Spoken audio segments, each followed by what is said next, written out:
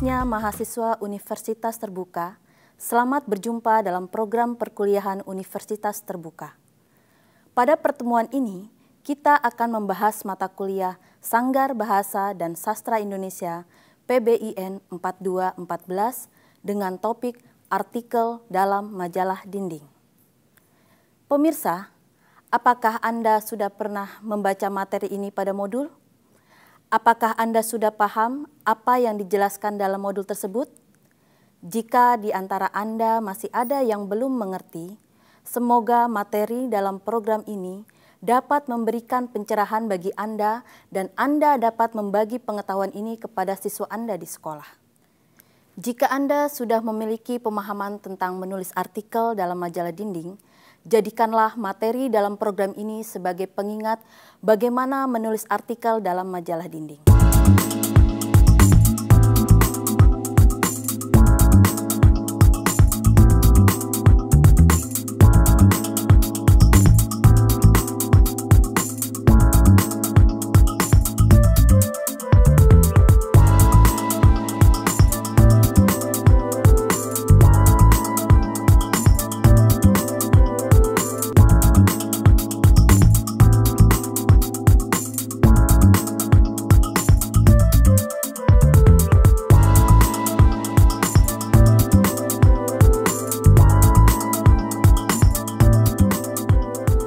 Pemirsa, sebelum kita membahas tentang artikel dalam majalah dinding, kita akan membahas terlebih dahulu tentang majalah dinding. Seperti yang telah kita ketahui bersama, bahwa majalah dinding merupakan salah satu jenis media komunikasi masa tulis yang paling sederhana dan tidak perlu mengeluarkan dana yang besar dalam membuatnya.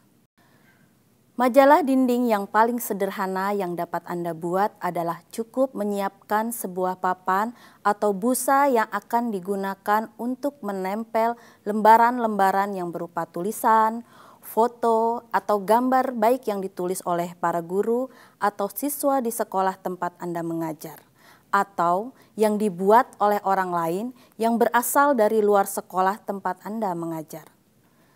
Salah satu syarat tulisan untuk majalah dinding adalah memiliki kegunaan atau manfaat bagi siswa. Majalah dinding memiliki manfaat yang sangat besar bagi siswa. Melalui majalah dinding, siswa akan memperoleh berbagai informasi baik yang bersifat ilmu pengetahuan maupun hiburan. Selain itu, melalui majalah dinding, siswa dapat mengekspresikan perasaan, dan pikiran serta kreativitasnya dalam bentuk tulisan dan gambar. Dengan demikian, akan tumbuh minat siswa dalam membaca dan menulis. Bagaimana saudara? Apakah Anda sudah lebih paham apa yang dimaksud dengan majalah dinding dan manfaat majalah dinding bagi siswa? Bagus jika Anda sudah paham.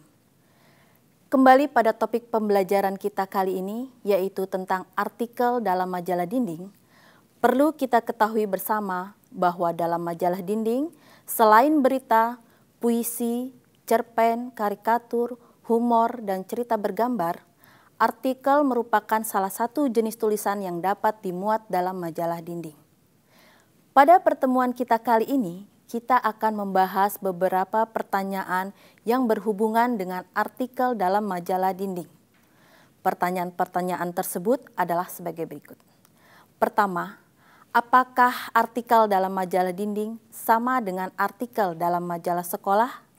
Jika berbeda, di mana letak perbedaannya? Dua, jenis-jenis artikel apa saja yang dapat dimuat dalam artikel majalah dinding?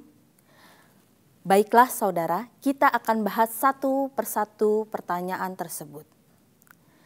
Pemirsa, pertanyaan pertama yang akan kita bahas adalah apakah Artikel dalam majalah dinding sama dengan majalah sekolah? Artikel majalah dinding sesuai dengan namanya adalah tulisan yang ditempel atau dimuat dalam majalah dinding yang berisi pendapat seseorang atau kelompok yang membahas tuntas suatu masalah yang menarik, aktual, atau kontroversial dengan tujuan memberitahu, mempengaruhi, dan meyakinkan atau menghibur pembaca. Berdasarkan pengertian tersebut, dapat terlihat bahwa pada dasarnya artikel dalam majalah dinding sama dengan artikel dalam majalah sekolah. Perbedaannya terletak pada publikasi artikel. Artikel majalah sekolah dipublikasikan secara tercetak dan diterbitkan dalam bentuk majalah sekolah. Sedangkan artikel majalah dinding ditempel di sebuah papan atau busa yang ditempel di dinding. Selain publikasi, ada satu hal lagi yang membedakan antara artikel majalah sekolah dan majalah dinding, yaitu panjang artikel. Untuk majalah sekolah, panjang artikel maksimal tiga halaman, sedangkan untuk majalah dinding maksimal dua halaman. Untuk mengetahui lebih jelas karakteristik artikel majalah dinding, perhatikanlah penjelasan berikut ini. Pertama, artikel ditulis dengan atau atas nama seseorang atau beberapa orang. Kedua, artikel menyajikan gagasan yang menarik, aktual, dan kontroversial. Ketiga, masalah yang diangkat harus menyangkut kepentingan sebagian besar pembaca atau bermanfaat bagi siswa. Keempat, disajikan dalam bahasa yang mudah dipahami, komunikatif, segar, dan populer.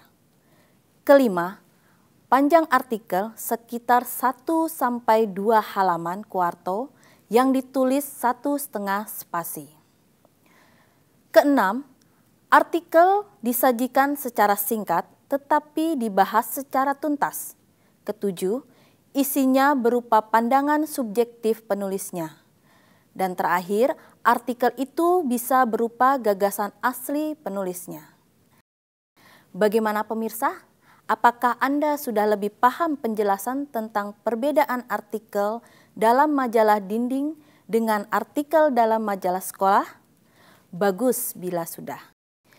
Sekarang kita akan bahas pertanyaan kedua, yaitu jenis-jenis artikel apa saja yang dapat dimuat dalam majalah dinding. Jenis-jenis artikel yang dapat dimuat dalam majalah dinding adalah sebagai berikut. Pertama, artikel praktis, yaitu artikel yang berisi petunjuk praktis tentang cara melakukan sesuatu. Artikel ini lebih menitik beratkan pada keterampilan daripada analisis suatu masalah. Berikut adalah salah satu contoh artikel praktis yang dapat dimuat dalam majalah dinding.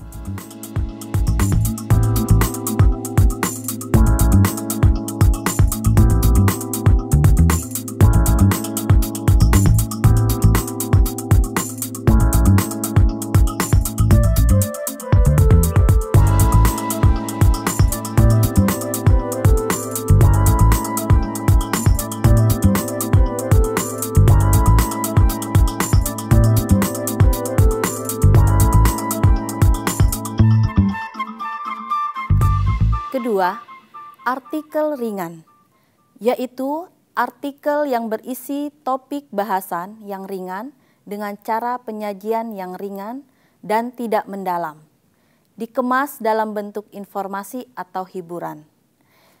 Berikut salah satu contoh artikel praktis yang dapat dimuat dalam majalah dinding.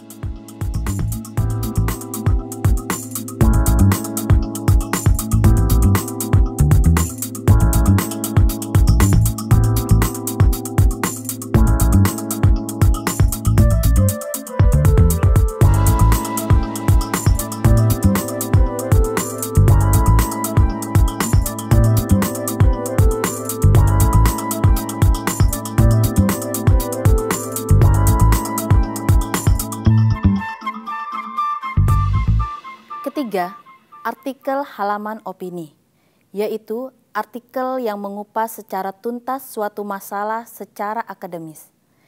Penulisnya harus orang-orang yang benar-benar ahli di bidangnya. Berikut adalah contoh artikel praktis yang dapat dimuat dalam majalah dinding.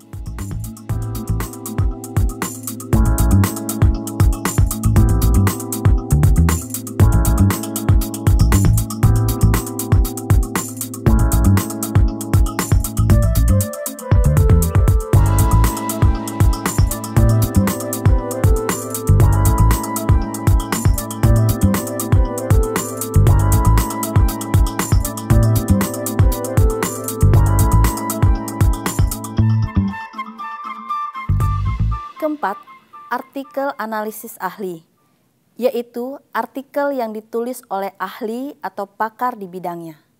Artikel ini mengupas secara tajam dan mendalam suatu persoalan yang sedang menjadi pembicaraan masyarakat.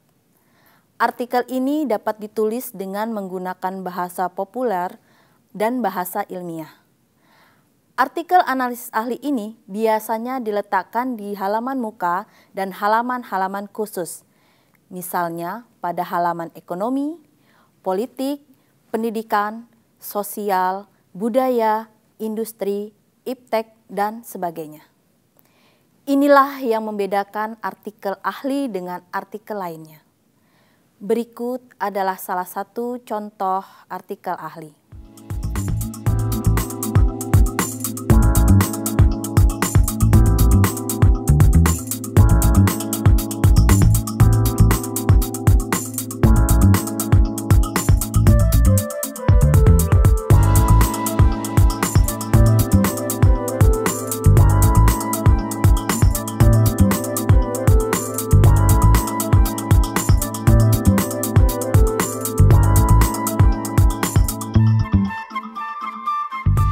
Bagaimana pemirsa? Semoga Anda sudah paham tentang jenis-jenis artikel dalam majalah dinding. Pemirsa, khususnya mahasiswa Universitas Terbuka, sampai di sini perjumpaan kita kali ini. Semoga tayangan ini bermanfaat bagi Anda. Selamat belajar dan sukses selalu.